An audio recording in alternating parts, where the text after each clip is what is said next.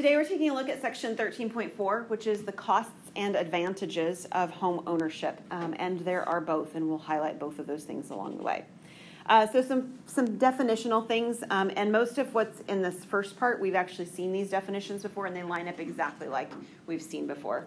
Mortgage. Mortgage is just a home loan. Um, it's for a substantial amount of time, uh, amounting, amount of money over a lengthy time interval. Um, it's also sometimes called a deed of trust or a security deed. So you might hear it referred to that way. Um, down payment. Um, we've heard down payment before, and it means exactly the same thing we've seen. It's the portion of the purchase price that you pay up front. Term. That one's new. We actually haven't heard that word before. Term is just the length of the loan in years. Okay? So for mortgages, um, length of loans in years, there are three that are the most common 15 year notes, 20 year notes, and 30 year notes. There are other options, but those are the three that are usually used. Those three. And then the principal amount of the mortgage is simply the amount that you're financing, just like what we mean when we talk about principal in other situations. The amount of the loan is found by taking the purchase price minus the down payment. Okay, so far so good. All the definitions match the same, we just got the new one that means term. All right, a little bit more. Um, we are first going to be talking about something called a fixed rate mortgage. Um, depending on if and when you printed these notes out, there's a couple of things I made adjustments on last night around 9 o'clock, so I'll make mention of it in case you printed them out before 9 o'clock last night, which if you've printed them, you probably did. Um, so a fixed rate mortgage, the interest rate is fixed. That word was left out of the original first notes, just don't enter it. It's not the interest that's fixed, as in it's the same amount of interest every payment. It's the rate of the interest that's fixed. And it stays constant the entire length of the tone. That's what fixed rate means, is that the rate doesn't change. And you might be saying, now wait a minute, like there's loans where the rate does change, and the answer is yes, yes there are. We'll talk about them at the end. Amortizing is the process by which the initial balance, together with the interest due on the loan, is repaid to the lender through regular, constant, periodic, typically monthly payments. So when you go and you get a home loan, they give you an, what they call an amortization schedule. And what it does is it shows you every single monthly payment in a row. Okay, so if you have a 30 year note, 30 times 12 is 360 months. You'd pay it out over 360 months, at least that would be the way the loan is written. And it would tell you every piece of information so that it would be like a spreadsheet that's 360 lines long. Okay, that's what an amortization schedule looks like, and the amortizing is the process by which the schedule is created. All good? Okay, we're going to do an example. Uh, oh, I'm sorry, two more notes before the example. I apologize. Regular monthly payments. This is new. We've not seen how to calculate this before, so this is something brand new. Uh, regular monthly payments. The payment required to repay the loan of P dollars, Is the principal, together with the interest rate at an annual rate R R percent. We've seen that before too. R is the percentage. Over a term of T years. T is in years, just like we've seen before. The formula itself we have not seen. So this is calculated by taking the principal times R divided by 12. We divide it by 1 minus, and then we've got 12 over 12 plus R raised to the 12t. And just like with some of our other formulas, we're going to need to be very cautious as we do this make sure our calculator does what we're trying to tell it to do or think we're telling it to do in the right order. Because if it does in the wrong order, we're going to get wrong answers and then things go, go awry. Um, when you close on a house, you don't just bring down payment. You bring also something called closing costs. Now, part of your closing cost is the down payment. But there's other things that you might have to pay for as well. Um, and those are things that are sometimes negotiated between the seller and the buyer. So you might have to pay for some or all of inspection costs, right? You want to make sure that you're not getting a house that's got something significantly wrong with it. That would be a problem, right? Um, you might have to pay part of the um, realtor fees if there's realtor fees associated. Again, something that's negotiated when you make the um, offer on the house. So closing costs includes more than just down payments. Um, that phrase can include other fees as well. There's often a, a, title fee, a fee that actually changes the title from the previous owner's name into your name, those kinds of stuff too. Okay, So those are called closing costs. All right, so we're going to do some examples, um, um, some pieces along the way. We're going to go back to our friends Ann and Andy. They're ready to buy a home. Um, and they find a house, they negotiate their price, and their purchase price is $120,000. So um, they hopefully along the way have talked with some kind of a lending institution. There's different kinds of lending institutions. They'll offer different rates. Some companies are just mortgage companies. That's all they do. Uh, we have a friend who's a mortgage broker only. That's all they do is mortgages. Um, you can talk about credit unions or banks. Um, those are places that do other kinds of loans as well, and they'll offer home loans. Okay, so they've got uh, they're going with their credit union. They're being offered um, to loan out um, or to borrow $100,000. It's a fixed rate mortgage. The ones we've been talking about have been fixed rate already. It's 3.75% interest rate and it's a 20 year note. So they're going to pay it out in 20 years. Okay, do you understand the details to start with? Is that okay? All right, so those details change based on lots of things, right? The interest rate they get, how much they can borrow, these things are affected by how much money they make uh, how much other debt they already have, right? Do they owe on a car and a school loan? Well, that's going to mean that they can't borrow as much, right? Um, it's going to also sometimes it's affected by your um, your credit, right? How how well you have paid off other debt. Or if you haven't had credit, you can still get a loan. They'll do what's called manual underwriting, and which means they'll look at your um, ability to make other payments like pay rent if you've rented an apartment, or pay on your cell phone or your um, like gas or electric, um, you know, your your internet bills, things like that. They look at your how, how regularly you make your payments and do you make them on time. Okay, so there's other things that go into that play. Another one that you might not be aware of is that sometimes they look at how long you have been in the profession that you're in. Are you brand new starting out doing this and it's your job? They might not be able to loan you money at all because they want to know that you're really going to stick with that job. You're not going to just get fired or quit because you don't like it. So that will actually come into play too. So these are the conditions that they have. Our first question is what their down payment is.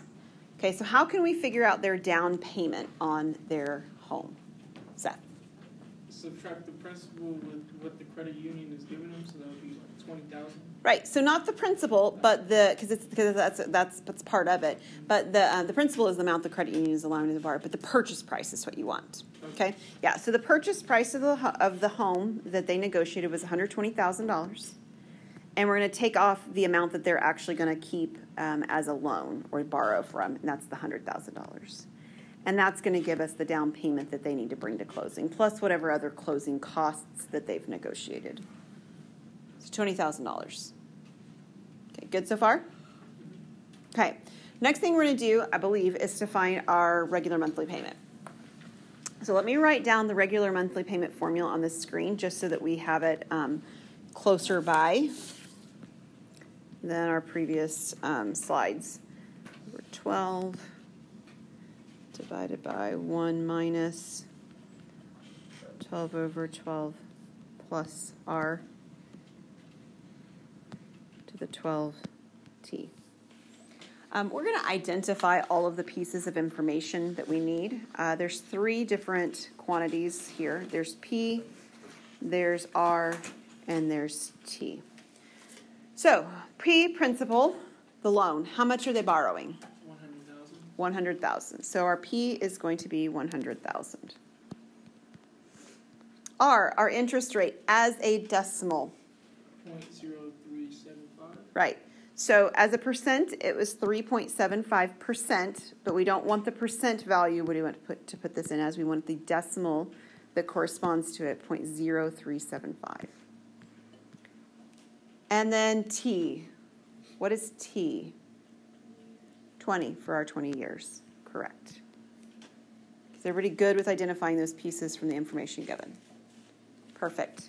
So we're going to put these into this formula and we're going to be a little bit cautious with our calculator, make sure um, that your calculator um, does what you're expecting it to do. And so we have our principal, that's 100,000, times our interest rate, 0.0375, divided by 12. All of that is divided by 1 minus 12 over 12 plus 0.0375. all raised to the 12 times t, which is 20. So grab calculator out if you don't already have it out. And I'm going to make a few suggestions. It may or may not be necessary for your exact calculator. That's fine if it's not.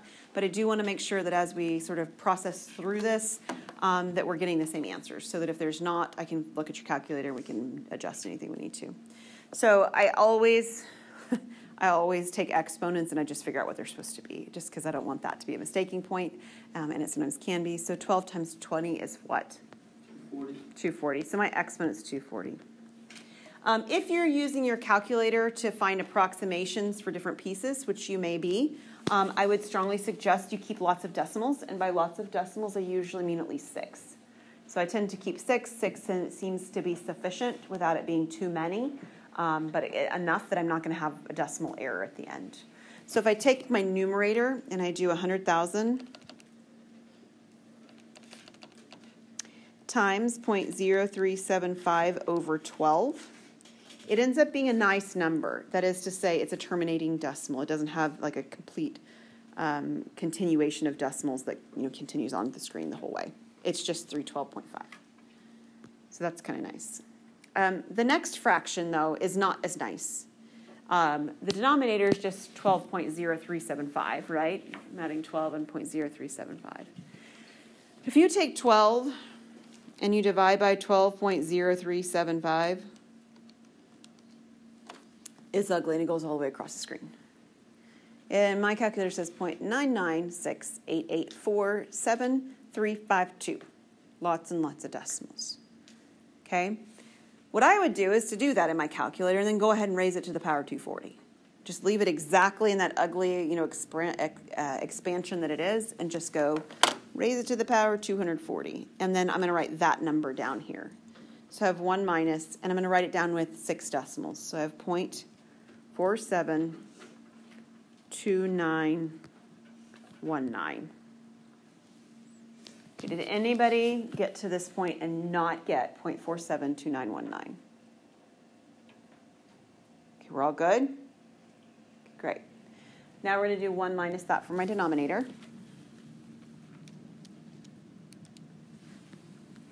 So we've got the same 312 on top, 0.5 or 50.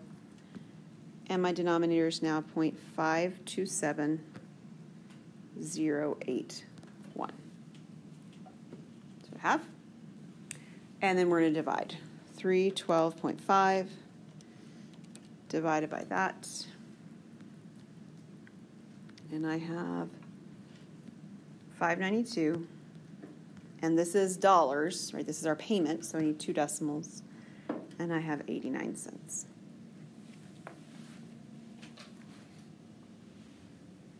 Anybody not get that as the answer when your calculator did its processing?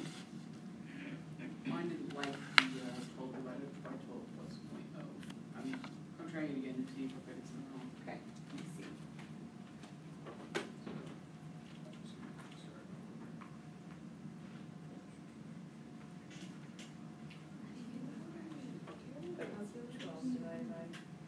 Oh, 12. Um, I will, uh, Yeah, um, so I, I always have one with me, and I usually try to bring a couple more, so it should be, kind of- I should have just asked. I would this just need it usual. for the test, yeah.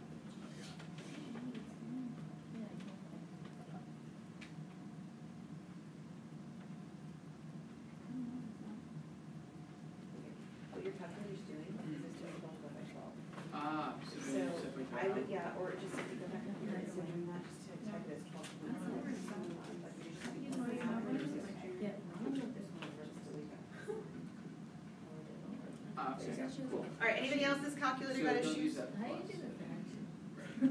You just write it in as division. Oh, okay. Yeah, so like you could do like just twelve divided by twelve point zero three seven five. Okay, what's is, yeah, and then raise it to the power of two forty. Okay, anything else calculator wise? Yeah. Mine's doing the same thing, it's not giving me that, uh, Okay. point five two. Okay, so this is what I was talking about, you need to add these to your calculator thinks it wants to do twelve divided by twelve. But you don't, you wanted to have, add the twelve and then point three three seven five. calculator doesn't know that because he didn't believes order of operations should divide before it adds. What I would do is that, I would just type in twelve point zero three seven five. She, I got, that's what, Yes, yes, I know. and raise that to the two forty, or, uh, yeah, then raise that to the two forty. Twelve, she did something to her. There's that four seven two nine. And then- Okay, any other questions on calculator stuff? Okay. Well, I'll look back up. Um, so this is another one of those places where I added a little bit of a description in there to your notes. Um, I realize the word conservative is in here, and I don't want to confuse conservative, which is used in lots of contexts to mean different things. Uh, in financial, conservative means cautious. Yes. how many decimal points should we write out? I write six. Uh, when I tell, whenever I write decimals out, I write six to make sure I don't get any um, inaccuracies. Um, so conservative. So a conservative or a cautious estimate for home ownership is to use a 15-year fixed mortgage with 20% down payment, which is close to what they did. They give $20,000 on a $120,000 note, and all, no more than 25% of your monthly take-home pay. Um, if you go to a lender, your lender is perfectly happy to let you borrow more than 25% of your take home pay. And it's a really risky thing to do that. Um, so you may or may not have heard the phrase house poor, but house poor describes someone who has borrowed more on their house and then they don't have any money to go and do the things that they wish they could do, like on vacation um, or um, eat out, you know, that kind of stuff, because everything's going towards the house. Um, lenders will allow you to borrow almost up to 50% of your take home pay for house and all your debt payments. It's huge. Don't do it. Um, when we moved to Ohio, my husband and I took out far too big of a loan because he didn't have a job yet, and we just felt sure he was going to get a job, it's going to be no problem. He did, but it wasn't the kind of job that we expected at the time. And it was really, really difficult because we had borrowed more than we should have for that point in our life. So, this is actually a very safe kind of a um, mortgage to take. Um, we're going to complete a mortgage amortization schedule, but just for the first two months. So, this is what an amortization schedule would look like. It's going to have columns for your payment numbers. So, for this couple, they've got a 20 year note. Um, so, you've got 20 years, 12 months a year, 240, right? That's how many monthly payments if they paid the whole thing out. So, if they were going to closing, they would get a big old giant spreadsheet that would be 240 lines long that would look like this. And we're only going to do the first two lines, okay? Um, it would include the payment amount. This column that says total payment, that's what we did on Part B. So jot yourself down a note. Whatever you got from Part B, that was our regular payment amount, is going to go in the payment column. And every number in the payment column is going to be exactly the same, all the way down this line. So that was 592.89.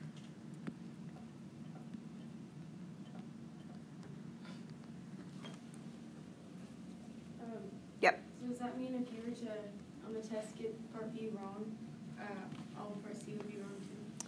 So it would. You're right. Um, and so I would be going back to look for partial credit to see if I could see a trail that caused a problem so that it wouldn't affect the entire problem. Yes. Um, interest payment. So we're going to talk about how we calculate the interest payment, but it's going to look like something you've seen before. That's always good news. We've already done this, right? So we're going to look specifically at month one. And um, month two will be very similar, but there will be an adjustment factor, and I'll show you. So when we're looking at interest, you've calculated interest before. Your interest formula is I equal P R T. You remember that, right? Simple interest. Well, P, the principal, how much did we borrow? Hundred thousand. 100,000, that's our P. R, our rate, what was our rate?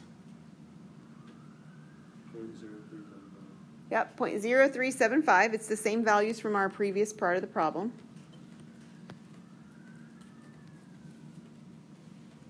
And then T for time. So this is a month payment. So how much is a month of a year? Well, One twelfth. So this is one twelfth that goes in here. That's how much of a year we're talking about. T is always time in years. And if you if you multiply and divide this out, you'll actually get the numerator that we got back on the regular monthly payment side slide on part B. It's three twelve fifty. Okay. Okay, that's what we had over here as our numerator, because it's the same calculation. Will it always be the numerator? hmm For the first month, not for the second, but for the first month, yeah. So this three twelve fifty is what goes in the second blank on the amortization schedule, three twelve fifty. Now, three twelve fifty will not go in underneath the three twelve fifty. It will be different. Okay, so the only two rows that are gonna match exactly is the first one right here, where it's gonna say five ninety-two eighty-nine all the way down the amortization schedule as far as we went. Three twelve fifty. Okay, so the next thing we're supposed to find, um, so this is our interest payment, is the principal payment. Okay, so when we make the payment to the bank, there's two components of the payment. One part is actually paying off the loan. That's the principal payment. That's what we're about to figure out. The other part is the luxury of borrowing money, the interest part. But these two things together have to add up to my total payment. Nod your head if that makes sense. Okay? All right. So my total payment is the 592.89. The interest part is 312.50. How can I figure out how much of the loan is actually get paid off? Subtract the interest from the loan. You got it. So my principal payment, I'm just going to write print payment, is the regular uh, payment amount, right? The first column that I filled in, total payment, minus the interest column. So, in a very real sense, I'm taking these two and I'm subtracting them to get the principal payment. Does that make sense? So I have 592.89 minus 312.50.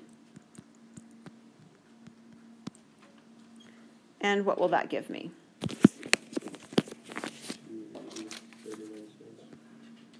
Two eighty, thirty-nine cents. 280 and 39 cents. And that's going to go right here. So even though I'm paying almost $600, the loan actually doesn't go down by $600, right? The loan, the amount that I am actually still owing to the bank, only goes down by 280. So I borrowed $100,000. Now I've paid off 280. And if I subtract those two, that's going to tell me my last column. How much do I still owe? So, to figure out how much I still owe, the balance on the account, I take my current loan that I owe, the loan value, whatever it is, right now it's 100,000, and I subtract off the principal payment. So again, for us right now, it's $100,000 that I owe minus the 280 uh, 39, is that right? Mhm. Okay, 39 that I paid off. So 100,000 minus 280 39, what do I get? Ninety-nine thousand, seven hundred and nineteen dollars and sixty-one cents. Okay, so that's how much I still owe after the first time I make a payment to my mortgage. 99,000 719 60. Sixty-one. One. Thank you, 61. Okay, does that make sense? Made my first payment. I paid almost 600, but the loan payment only went down by about 300 because that's how much went towards principal. Everything else just paid the bank for the luxury of borrowing their money. Kind of stinks. Interest is just rough, man, especially on big payments, right? Like a mortgage. Such a large payment for such a long period of time. That's why the interest adds up so quickly, or at least feels like it's so large. Okay, this is month one. Month two is a little different because on month two, I don't owe the bank $100,000 anymore. I owe the bank $99,719.61. So that's the value that I use to calculate my interest. So when I go into month two and I'm calculating my interest, I won't write the formulas down anymore. We'll just write down the calculations since they're already on this screen. The principal now is no longer $100,000 because I don't owe $100,000 anymore. I only owe $99,719 or Ann and Andy do 61. and I multiply that principal, but the rate and the time are still the same. The rate is still 0.0375, and it's still for one month time, 1 12th. That's how long of a time period we're calculating based on. So it's February if you wish or whatever, but it's 1 12th of the year. What do you get for your interest payment in month two? Three eleven dollars and sixty-two cents. 31162. How does that compare with month month with month 1? Almost a dollar less. Almost a dollar less. But it is less, right? Why should it make sense that it's less? Because it's paying off less. Because there's less principal. My interest is calculated on a smaller principal amount. Does that make sense? And if less of it is going to interest, which it is, right? 312 down to 311, almost a dollar less. If less of it is going to interest, how much is going to principal? A dollar more. A dollar more, approximately, right? A little bit more. So if you were looking at an amortization schedule, like many lines of it, what you would see is this interest payment column would decrease all the way down, right? Every month it would be a little bit less. And this principal payment column would increase all the way down. Every month it would be a little bit more. You're making a little bit more progress every month you go.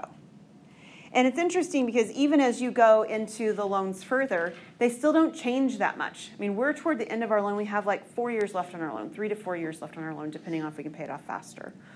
It still only changes my interest and my pay- principal payment. Like this is changing by about a dollar a month, right? Yeah, about. Ours is only changing by like three or four dollars a month.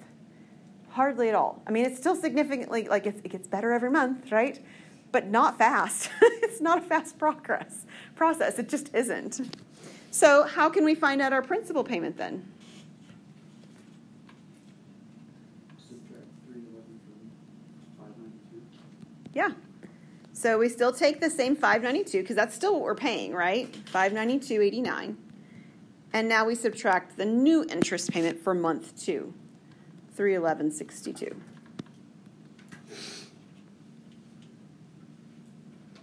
What is it? 281.27.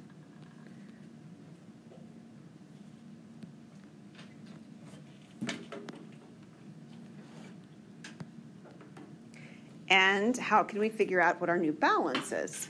Subtract the two eighty-one twenty-seven from the ninety-nine seven nineteen. Right. So the 99,719, which is what we entered the month owing, 61, and we subtract the principal amount, the 281.27. So again, the way we're finding this next piece right here is to take the previous line, the balance, subtracting off our principal payment. What do we get? It's still 99,000 something. 99.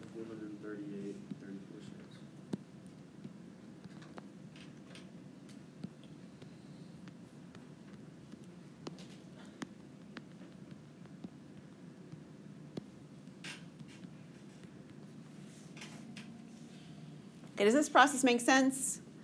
Okay, so the mathematics here is really not complicated. It's really like addition, subtraction, and multiplication. That's all we're doing on this whole slide, right? But you have to make sure you're subtracting and adding and it has to be all the right quantities as you go. Now, you may have heard people say um, things like it's cheaper to own or to purchase a home than it is to rent. Have you heard that before? Okay. So what they're usually meaning is they're usually meaning the, this payment, this total payment that you're making toward the cost of the home is less than the cost you pay a landlord in rent. But you have to be a little bit careful because there are some hidden costs or maybe like not thought about costs of home ownership that don't calculate in quite like this. And there's two of them that we're going to talk about. Three actually, so sorry. But two that we can actually give numbers to. One of them is property taxes. Property taxes are collected by a county or other local government. Sometimes you have city taxes. Oklahoma doesn't have city taxes, but when we lived in Ohio, we did. Um, so you have property taxes co- uh, counted here in Oklahoma by your county. Uh, it can cost up to several thousand dollars annually, and it can change. Um, so your property taxes can change based on your school district and any kind of things that they put in, like bonds, right? You guys know, you've heard school bonds. You probably had some when you were in high school and so forth. People pass bond issues. Um, our school board in our area passed a bond issue. Our property taxes went up thousand dollars last year. A thousand dollars. A lot of money. So- annually, annually, or they do it monthly? So it's a good question. Is it done annually or monthly? It depends. So um, we're going to talk about one way that it's done monthly. We're going to think about it for, as a monthly expense kind of quantity here, um, but you can pay it annually. My husband and I pay ours annually. That sounds expensive. It is expensive. It's quite a, quite a thing when you get something that's thousand dollars more than you're expecting in the mail. Um, property taxes um, and mortgage interest are both tax deductible. Uh, what that means is that let's just say you, as an individual, made forty-five thousand dollars and you paid three thousand dollars in your property taxes. Well, then the government would say, well, you don't have to pay taxes on forty-five thousand dollars. We'll subtract the three thousand dollars off. You only have to pay it on forty-two thousand dollars now. That's what it means to be tax deductible. It just means you don't pay taxes on that amount of money. It doesn't mean you save that amount of money in your taxes. That's a misconception. Okay, you just don't pay the taxes on that amount. Um, homeowners insurance. Uh, and property taxes can vary based on, I mean, the individual neighborhood in which you live. You live in a very, um, you know, like costly neighborhood, you're going to pay more in your property taxes. Um, this year, we paid more in our property taxes because of the levy that was, um, or bond issue that happened at our school district, right? But next year, it'll go back down, like we know that. Um, so it, it fluctuates based on your actual location, and cities and states too. So our property taxes in Ohio were considerably higher, if I remember right, but our homeowners insurance was considerably lower when we lived in Ohio compared to Oklahoma. Homeowners insurance now. Homeowners insurance covers losses due to things like fire, storm damage, tornadoes, hail. That's like storm damage, but hail's a big one in Oklahoma. My father was a roofer. We prayed for hail. Hail was good for business. And insurance usually paid it. It was great. Um, it also pays if somebody gets hurt on your property. Did you know that if the neighborhood kid's over at your property and they break their arm, that you're liable for that? You are. Not you personally, but your homeowner's insurance is actually liable for that. So it actually covers those kinds of things too, which we don't always think about. So if you own a home, you're and you and you loan money especially, you are required to have homeowners insurance, and believe me, you want it. You lose your home in a fire. My parents lost their home in a fire uh, when I was a high, senior in high school. Actually, we lost everything. Uh, you want somebody helping you to take care of those expenses. Huge deal. Yeah. How did they like calculate, is it just like off your word what was in the house if everything gets burned down? So when you go and you actually get a policy, um, you work out with them what you believe the property values are of the things in your home, and you you work with them. Usually, the way it works is that you have a certain amount of value based on the property value of the like the actual value of the dwelling. So if your dwelling is one hundred fifty thousand dollars in your dwelling cost, there's a percentage that they use that covers the contents of the home. So then you would come back and you would actually have that amount of percentage, especially if it was a total loss, to replace things. They don't look at it like item by item like that, but more like, and then if you have expensive items, you have to have a special like rider like for jewelry or you know coins or something like that. It also covers your um, property in your car if your car were thefted. So if you had a break-in in your car, then your homeowner's insurance would cover the property that you own in your car that was stolen. Yeah. Could that change over time? you, Definitely. like, um, Gain more value in your Yep. home or something? Yeah, like right now, property values are going, just going through the roof. I don't know if you guys know this, but it's very expensive to go purchase a home right now. So like our home's property has gone up in value, so when we got our homeowner's insurance quote this year, it was thousand dollars more. I don't know why thousand is the magic number this year, but apparently it just is. It was a thousand dollars more in our property value than it was, the- or our, our homeowner's insurance than it was the year before. Um, but that's the point when you should probably call around and check insurance rates too and make sure that you don't wanna switch companies or something like that. Um, so homeowners insurance in Oklahoma is pretty expensive. Any idea why?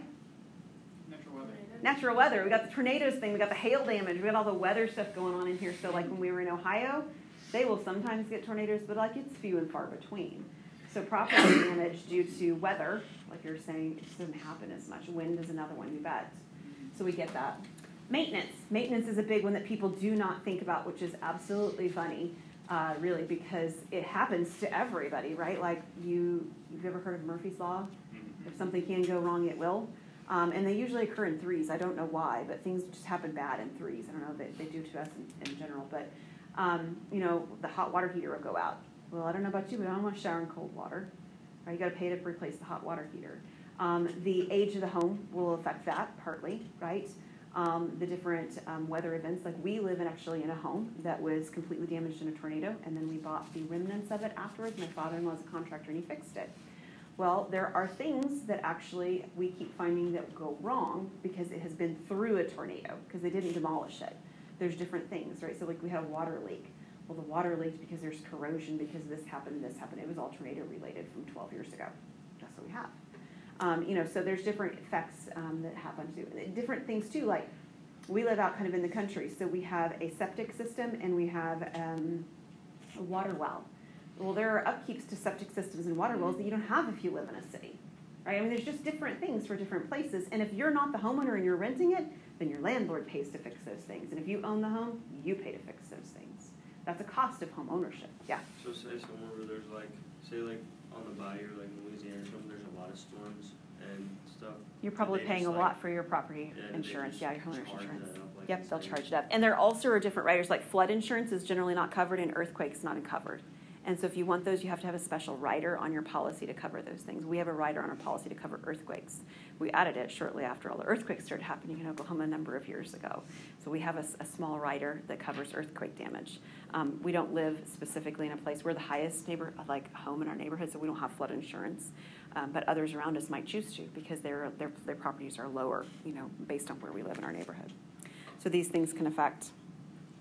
Um, so if you have your money um, all paid to the bank, the bank will often do something called escrow. It's in an, uh, a, a description here in a minute, but it's actually uh, where you pay the bank your one monthly payment, and it covers three things the amount that owes to the bank, the amount that owes to the homeowner's insurance, and the amount that owes to the state or the city or county or whatever for your property insurance. So that's what this next question is addressing: is the total monthly payment for Ann and Andy. Uh, their annual tax is nine thirty-two, and their annual insurance is six sixty.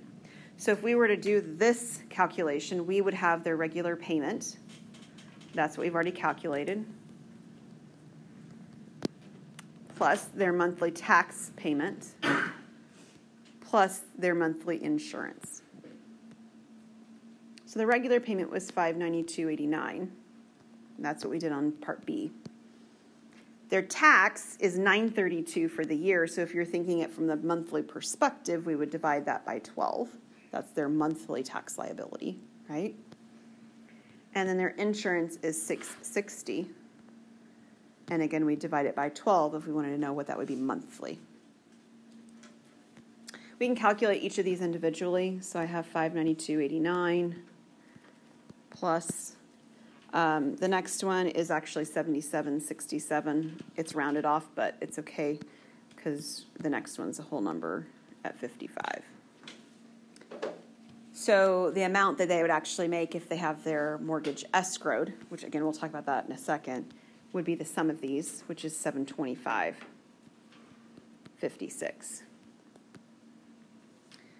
It's probably worth noting that if you don't own your home and you're simply renting, it's still a good idea to get renter's insurance. Because if the tornado completely demolishes the house and you don't have renter's insurance and you're renting, you lose all the property inside, all of your personal belongings, all of it's gone. Or if somebody steals it, it's all gone.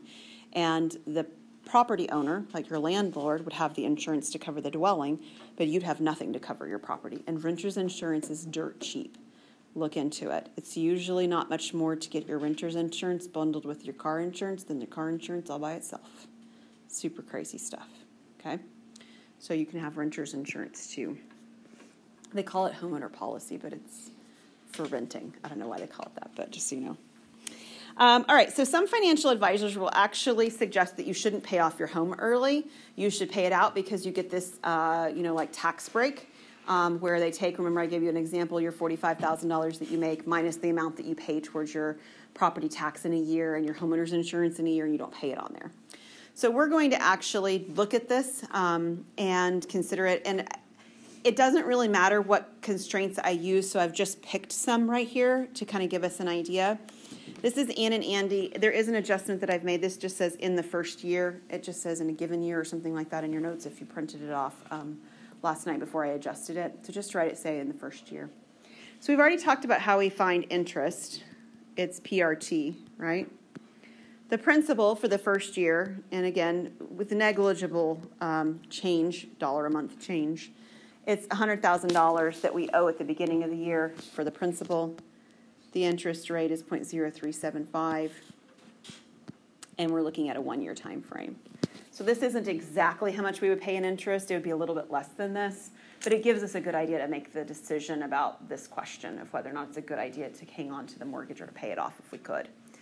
So if you multiply these out, you're actually getting $3,750. So that's how much money you're paying to the bank for the luxury of owning the home. Um, with them being the financier. Okay, $3,750. So we're going to assume, again, this is an assumption that they're in the 25% tax bracket. It may be more, it may be less. It really doesn't matter. We're going to find the same conclusion no matter what percentage I give you. So we're just going to go with 25%. So what this means is that 3750 is part of their income that they're paying to the mortgage company, right? They pay it, and they don't have to pay taxes on it. So again, it doesn't mean that they don't pay $3,750 worth of taxes. They don't pay the taxes on the 3750 The tax rate is 25%. So if they were paying taxes on it, they'd pay 25% of the 3750 to the government. So what is 3750 times 0.25?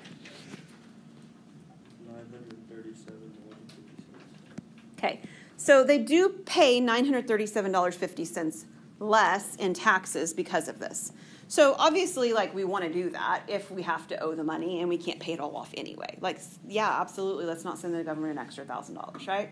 Cool, we're good with that. That's not the question, though. The question is, if we had the ability to just pay it off, would we choose to not pay it off? So the question really, really like boils down to: Ann and Andy are paying the credit union three thousand seven hundred fifty dollars and assuming they could pay it off and they didn't have to pay the 3750 they would lose the tax credit. That's the 9 what was it 37 50 cents. So they're paying the credit union 3750 to avoid paying the government 93750 is that a good move? No. Not if they could pay it off. Right? Right and the reality is, if they really wanted to avoid sending the government the thousand dollars, they could pay the thirty-seven fifty to their church and have the same tax deduction. Any 501c3, in fact, any charitable organization they could do that with, and they would have still the same tax deduction. So no, if you can pay the house off, pay the house off. You don't want to pay the interest payments. The interest payments are always going to exceed the amount that you're paying in taxes, always, because the interest payments is 100 percent the tax savings is whatever your percentage is of your tax bracket you're in. All right, I want to show you a few more details here. I'm going to run through them really quickly. Um, actually, what I think I'm going to do is I'm going to I'm going to do the ones that I can. I'm going to do them a little bit slowly, and then I'll post a second video, and then you can watch it because I ran through them really quickly, and I don't think anybody listened to anything I said in the last five minutes of class in my last class period. So. These are important features. You're not actually going to have any questions related to them. The reason I want you to know about them is because it's really like part of your real future stuff. Like this matters. It matters beyond this class in significant ways. I've mentioned escrow a couple of times. Es- excuse me, escrow is a reserve account maintained by the mortgage lender. So what the escrow company does is the escrow company at closing has you pay, you know, your closing costs. And what they usually have you pay is a year's worth of insurance and a year's worth of property taxes up front. Okay? And then monthly or yearly or whatever, they make payments to your to the government to pay for these things for you. But they keep these monies in the bank for you, and then you make monthly payments for the next year. Okay, it simplifies it for the lend or for the uh, borrower because they only make the one payment instead of the three separate payments. I mean, there's there's a nice factor to it. But make no mistake, the lending institution is making interest on the money that you've put there because they get to keep it for a year and get the interest on it and you don't. But that's the way escrow works, okay? Some companies will require you to do escrow. You don't have a choice. And sometimes you do. we do not have our mortgage interest, uh, or our mortgage, not mortgage, our homeowner's insurance and our um, property taxes escrowed. We pay them ourselves. And I just have a line in my budget where I just add money monthly. At the end of the year, I just pay it and I keep the interest on my money because I feel comfortable doing that at this point. We didn't do that all the time. When we were young, we did escrow. Adjustable rate mortgage. Uh, I mentioned early on that we were talking about fixed rate mortgages. There are also something called adjustable rate or variable rate mortgages. They do not have a fixed interest rate over time. Generally, they start lower than the fixed rate, so they look very enticing. They're like, ooh, I can get a 1% and a 3, instead of the 3.75% interest rate. But there's always a catch. It can change. That's what it means to be adjustable or variable. And it will change periodically. We have questions over that. Huh? You, there won't be questions. But you need to know that if you were to ever think to do this, there's a lot of things to consider. So let me go through this one slide and then we'll stop. There's an adjustment period. How frequently can they change your interest rate? Do they change it every year, every three years, every five years? You should know. If you're signing up for this, you should know how quickly can your interest rate change. The index, the standard fluctuating average, is the basis for the new adjusted average. So if the interest rates on fixed mortgages go up, then when they have the ability to change your variable rate, it's going to go up too. If the interest rates on fixed mortgages go down, then your interest on your variable is going to go down too. Right? So it fluctuates with the fixed rates. The margin is the additional amount added to the index by the lender right? They're going to give themselves a buffer. If the mortgage rates in general are going down, well, they don't want them to go down so far that they're still not making money on you with this flexible rate, right? That's the margin. And then the discount is the amount by which the initial rate may be less than the sum of the index or the margin. They might give you a discount because you've done such a good job of paying everything on time or they simply you know are trying to gain your business instead of somebody else getting it. There's a competition going on. That's called a discount rate. So what i'm going to do is i'm going to pause. I'm going to let you guys leave. I'm going to finish talking this out and it'll be like five more minutes and then you can go and you can listen to the five more minutes as it pertains to your future okay?